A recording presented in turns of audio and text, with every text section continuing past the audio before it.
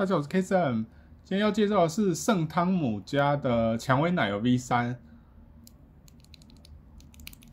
这是这一次最后一个购买的华诺代工的线性轴，价钱比之前介绍的一些华诺轴便宜一点啦，一颗一点一人民币，大量买的话一颗一元人民币折台币四点四五，外壳其实也就是成为果冻 V 二的换色啦，结构都差不多。配色方面就是奶黄色的防尘壁轴心，酒红色的上盖，插件灯位，然后这边有着华诺的英文 logo。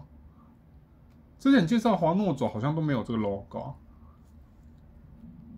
底壳是三角轴，四角卡扣固定的。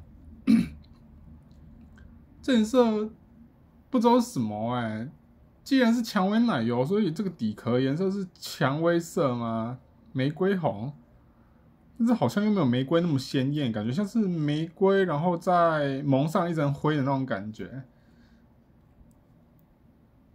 这个配色可以说很有特色啦，至于喜不喜欢，可能就看人吧。我是还好啦，也没有说很讨厌，但是说喜欢也还好。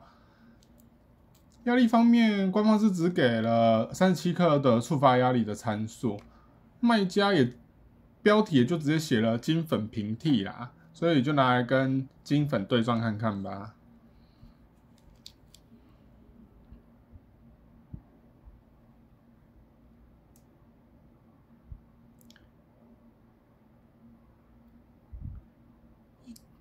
一开始差不多，稍微比金粉。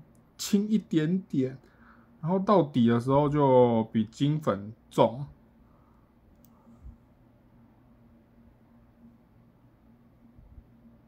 重一点。然后手感的话，其实因为草莓果冻是四十五克嘛，所以它其实手感就是比较轻的草莓果冻 V 二啦。一样就滑糯那种很顺滑的手感，然后放在耳边听的话，会有一点点摩擦声跟弹片音，这样按也不会有弹簧音。它的价格不到金粉的一半，所以有接近的压力，还有顺滑的手感，就真的很超值。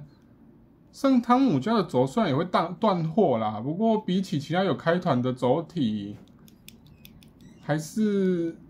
会供货稳定一些啦，个人觉得这算是轻压力防尘轴的首选吧。我我我啦，我比较喜欢这个华诺的手感。不过因为我个人没有很喜欢轻压力啦，我还是比较喜欢四十五到五十五克触发，哎，五四十五到五十克触发的加长弹簧这一类的轴体。不过因为它比较便宜，而且如果它没有断货的话，其他如果华诺轴都断货，那我可能会买它来回来换弹簧吧。拆开，